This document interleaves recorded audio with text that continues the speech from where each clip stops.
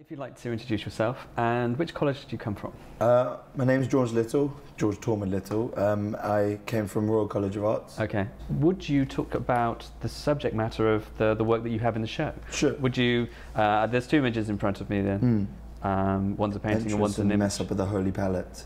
Mess up of the Holy Palace. Okay. I mean, I I, I ended up through the kitchen sink at the application uh, with a white, with like a loose version of the whole idea of the project with performance video, not video, a snippet video, painting and an installation, all quite. The paintings were the only things that were tangibly fixed in their, in Mhm. their measure and in their kind of weight, and so it's.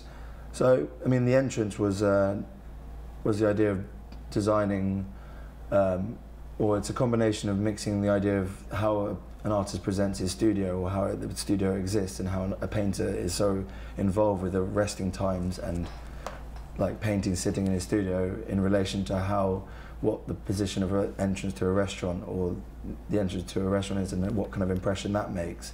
So I, with this, with the piece, the entrance, it's part of my old um, studio carpet Mm. from the floor with all the splatter and the remnants with this um, uh, uh, kind of what is it? It's a, a copper jelly mold which I've sandblasted, which becomes this abstract kind of bubbling shape on on the surface of it, and that that drag around gives the impression of a space or it gives the impression of an entrance to, or you dragged around a corner, and that in relation to the paintings, it was kind of maybe it became a thing about setting, like I was trying to build a setting for my paintings. hmm There were kind of set ways that you can perceive a certain sort of romanticism about Mm. painters.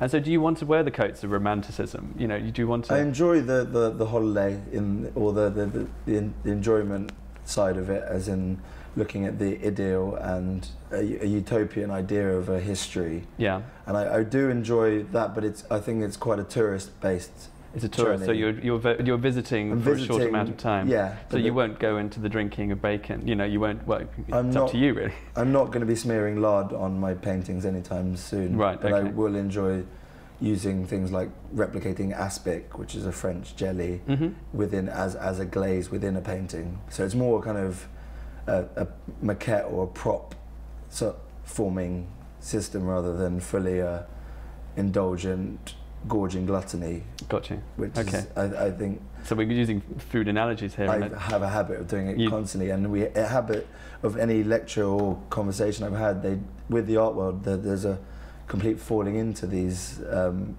what I mean, the joke one that I've once been told was "What's at stake." What's at stake? Okay, very good.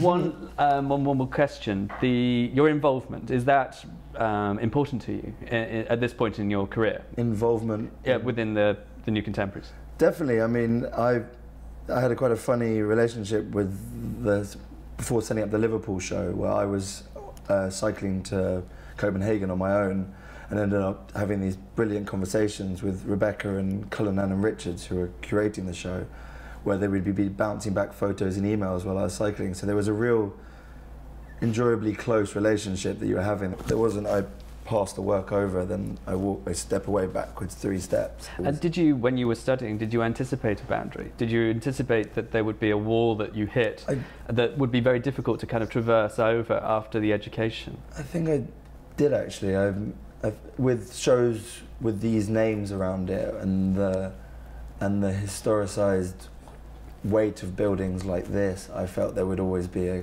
a gap, but I didn't. I didn't really see the people who are between who make who close that up. Uh, yeah, there, there, there, you know, there's a lot of people out there who want to help, you know, the Mm. next generation. You know, I think it's just important that you Mm. know you keep everything moving in a, in a in a single direction. And so, in a way, you know, this is a very useful, uh, important show to to allow, allow that to happen. So it's useful that it's it's good to know that it's still working in that respect. It was nice to see Liverpool as well. And it's always nice to see Liverpool here.